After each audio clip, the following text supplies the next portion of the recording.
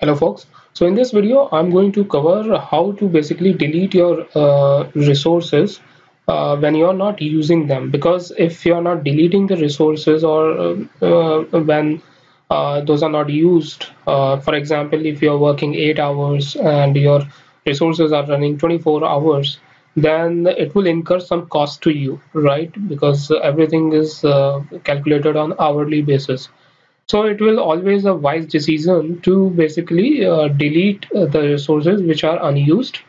Uh, and in that way you can basically save your cost uh, on Azure subscription.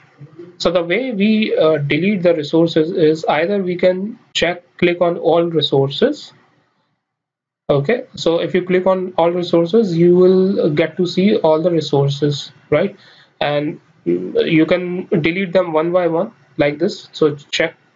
And then you click on this three dot icon and then sorry uh, click on check and then click on delete. Uh, so any resource you want to delete you can just check in front of it and then click on delete button. This is one way. Another way is uh, you can basically delete your resource group uh, itself. Okay? So if you delete your resource group all the resources will be deleted okay. But if in case you don't want to delete all the resources only selected one you can choose the previous option which i told you. But if you don't require all the resources then you can delete them in one go using this option which is clicking on resource group selecting your resource group and then click on delete resource group. So once you click on it it will ask for the resource group name.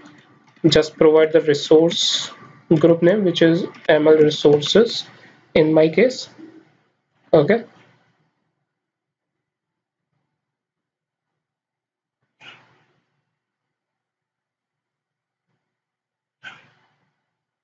Yeah so this is what i provided.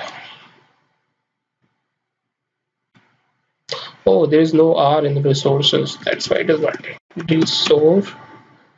So, i forgot to type R. Click on delete. And then once you click on delete uh, you will see a message deleting resource group ml resources. This will take few minutes.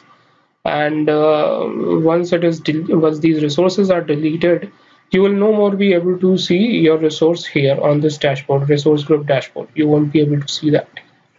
Okay?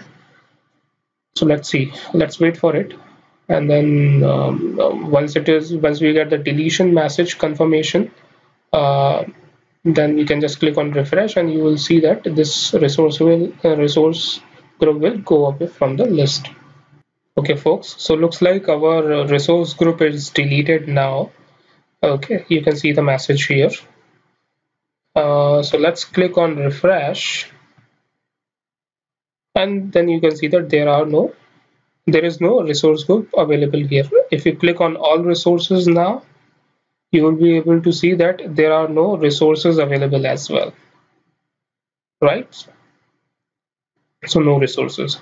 So this is the way you can basically save your money uh, if in case you are not using uh, some or all of the resources uh, during the idle time. Okay so this is it for this video folks. Uh, i will be covering next topics in the upcoming videos so keep on watching. And if you like this video then please please uh, hit the like button and subscribe for our channel as well. Thank you